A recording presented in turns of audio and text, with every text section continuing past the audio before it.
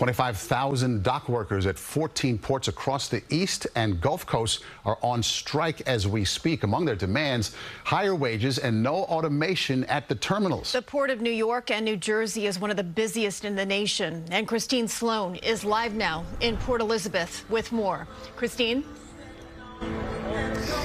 Christine, workers are on the picket line here in Port Elizabeth. Their union says if it doesn't get its way, ports in New Jersey, New York, and across the nation will remain closed.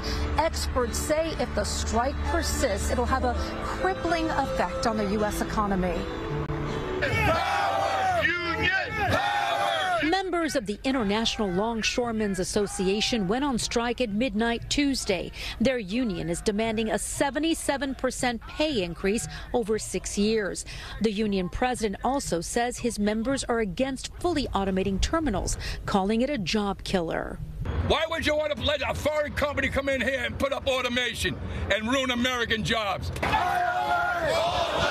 If the strike continues, experts say it could have a drastic effect on the availability of goods, anything from cars to furniture to bananas to coffee and wine. We didn't get respected, but now we will.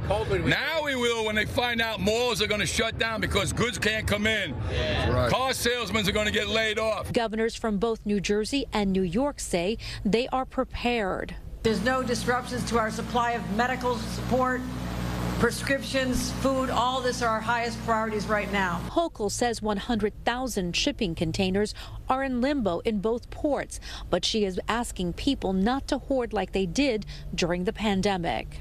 It's not time to be panic buying groceries or other products because the port has worked really hard to move produce and other shipments into, off the containers, get them into the trucks, and get them to their destinations. The U.S. Maritime Alliance that represents shipping and terminal companies says it has offered the union a 50% pay increase. The group also says current contract wording says terminals won't be fully automated.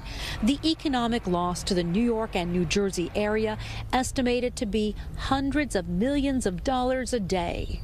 I would hope that uh, folks could get to a table sooner than later, find common ground. President Joe Biden has the power to ask for what's called an 80-day cooling off period, but the president says he is not intervening in union matters. We're live in Port Elizabeth, New Jersey. Christine Sloan, CBS News, New York.